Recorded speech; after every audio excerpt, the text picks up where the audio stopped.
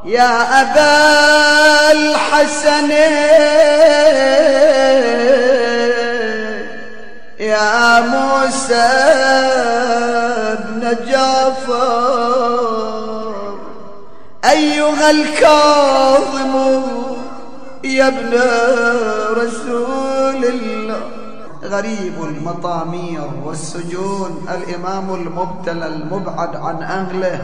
الذي غيب في طامورة السندي أخيرا في تلك الطامورة التي لا يعرف فيها لا ليل ولا نهار ولا متنفس للهواء وأهله وعشيرته وشيعته ينتظرون فرجه ولكن طال مكثه في السجون هذا غريب يا إخوان.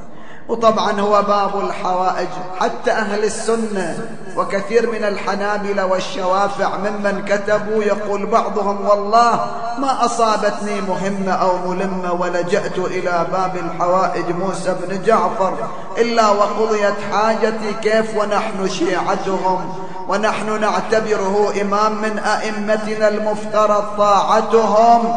ونحن نتوسل إلى الله بهذا الإمام الغريب المظلوم. ولي ما شاف في الدنيا ولا ساعة هنية والله غنية بسجن مظلم مجرح اسمه المنيه هو يندبكم إخواني. مثل ما الحسين يقول شيعتي ما إن شربتم عذب ماء فاذكروني والحسين يقول ابكوني. وكذا رسول الله يأمرنا بالبكاء عليه وأهل البيت. هو الإمام الكاظم يقول كذلك نحو على مصابي الشيعة واندبوني من وطن جد بلا جريمة شردوني عن عزوتي وأهلي حساف فباعدوا إيه ما ظنت أرجع وريد لارض المدينة. الله الله تخيل إمامك الكاظم هو القارئ لك ها. جاروا علي وكم سجن بيها دخلوا بقيد وسلاسل بالسجن هم قيدوني. بطامورة السندين بلا رحمة غيابه وظلت يا ويلي شيعتي تبكي وحزينة. يا مولاي يا باب الحوائج صف لنا هذه الطامورة. كثير ما سمعنا عنها لكن انت انت نريدك توصف لنا الطامورة. ما ينعرف بينا الصبوح لا ليل لا نهار ولا منفس للهوايا وما توصل لي أخبار. مضيق علي بالحزين مضيق علي بالسجن من قوم الأشرار. ومن دون كل الخلق جرم مجترنا تعرفون هالطامورة لازم أقرأ شوية وأسألك الدعاء ونكمل الدعاء. تعرفون هالطامورة يقال عنها أربعين درجا تحت الأرض. الإمام لا يعرف فيها الليل من النهار. يسجد سجدة بعد صلاة الصبح إلى الظهر وبعد صلاة الظهر إلى العصر وهكذا حياته. فقط يصلي على أصوات السجانين. يقال ذات يوم أحد أقربائه أراد أن يصل إليه عن طريق الواسطة. قال للجندي بعد أنا ما أنزل وياك أنت أنزل لحالك لوحدك. يقول صرت أنزل درج بعد درج درج بعد درج. معقول إمامي وسيدي موجود في هذا المكان؟ يقول إلى أن وصلت إلى مكان مظلم مخيف. فقلت يا سبحان الله معقول إنسان يعيش في هذا المكان؟ يقول بينما أنا حائر ما أصنع وين أروح؟ لا أرى شيء. وإذا أسمع خشخشة السلاسل والحديد. يعني الإمام جالس شعر به قام يقول ما شعرت إلا وواحد يضمني إلى صدره. وإذا هو الإمام موسى بن جعفر قال يا ابن العم أنا إمامك أنا ابن عمك. وإذا الرجل يقول سيدي أنت هنا مضيق عليك. قال لا عليك. لكن اخبرني عن أولادي عن ابني الرضا عن ابنتي المعصومة عن أولادي عشيرتي شيعتي. اسمعوا سؤاله شو يقول؟ يقول له شحال شحال الحريم الجيت منهم إلى أن ما بقى إلا حريم شردوا أولاده هارون الرشيد إيش فعل بالإمام وأولاده؟ والله عنهم عطني خبر هالساعة عنهم. قال من غبت مولاي عنهم والله صار البكا والنوح فنهم. قال بعد عندي سؤال خاص. تعرفون كل إمام عنده بنت مدللة حميدة بحميد مسلم بن عقيل يسلم على حميدة بنت المدللة الحسين يوصي زينب برقية بنت المدللة الإمام الكاظم يقول له عندي بنت اسمها فاطمة. أي ما تنام إلا على صوتي. هل وصلك خبر عنها؟ قال بلى مولاي لكن أخاف أن أذيع لك الخبر. قال له لا يخفى علي شيء. تعرف البنت إذا أرادت أن تنام أبوها دائما معها وعدها أبو مثل الكاظم أبو الرحمة تنام على صوته على تلاوته. وإذا هي فاقدة أبوها كم سنة من سجن إلى سجن. يقول له أسمع عن بنتك فاطمة لا تنام الليل تنتظر مجيئك يا مولاي.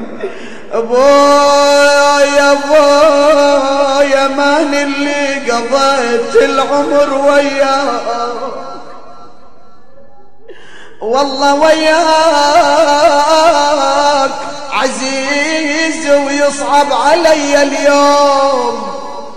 فرقاك يا نور العين يا الجن الدايم بطروك اسل الروح وانت قبال عيني هسه شلون وانت رحت عني؟ اي وأشوف اليوم راح الأبو مني. والله عساني ميتة من صغور اي هاي الكلمات كل أهل البيت يقرأوها. زينب قرأتها سكينة قرأتها تنتظر أبوها متى يجي؟ لكن الخبر صك مسامعها. الناس ينتظرون خروج الإمام على جسر بغداد يوم الجمعة.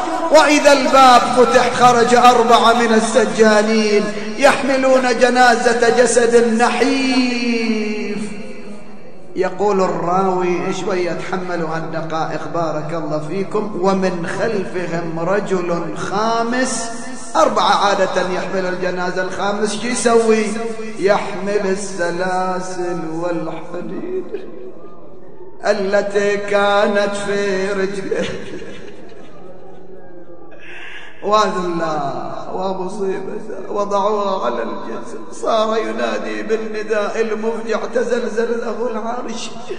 ألا من أراد أن يتفرج على إمام الرافض؟ هذا موسى بن جعفر قد مات حتف أنفه. وإذا الناس طلعوا ينظرون فرحانين كل واحد يقول لواحد أيامك عليك مباركة أيامك سعيدة. وإذا هذا يقول جنازة موسى بن جعفر صاير؟ إجا علي بن سويد كشف الغطاء عن وجه إمامكم. وإذا الإمام يابس عروقه غائر عيناه. مصفر اللون رحم الله من نادى وإماماه. والله يا خلاق شفت جنازة بالحديد مقيدة على حمامي الأربعة وتبكي لحالتها العدا حول سليمان الصارخ من سمع ذاك الندى.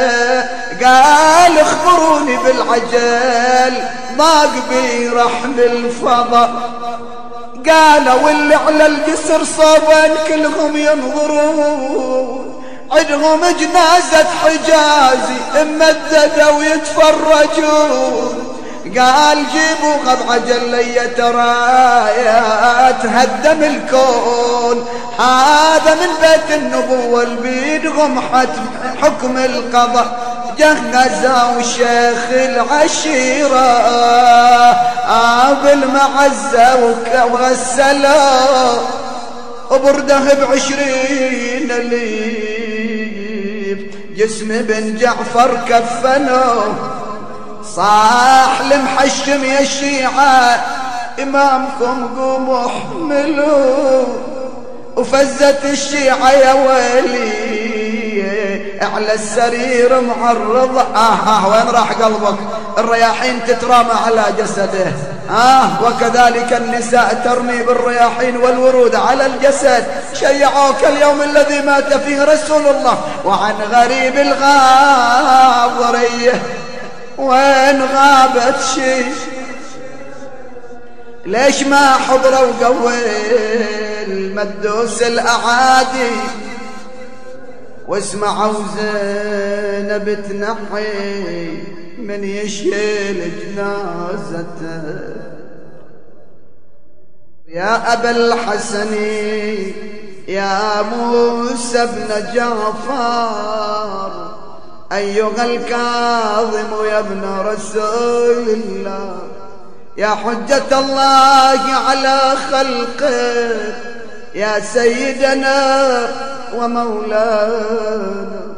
إنا توجهنا واستشفعنا وتوسلنا بك إلى الله وقدمناك بين يدي حاجاتنا. بارك الله بك يا وجيه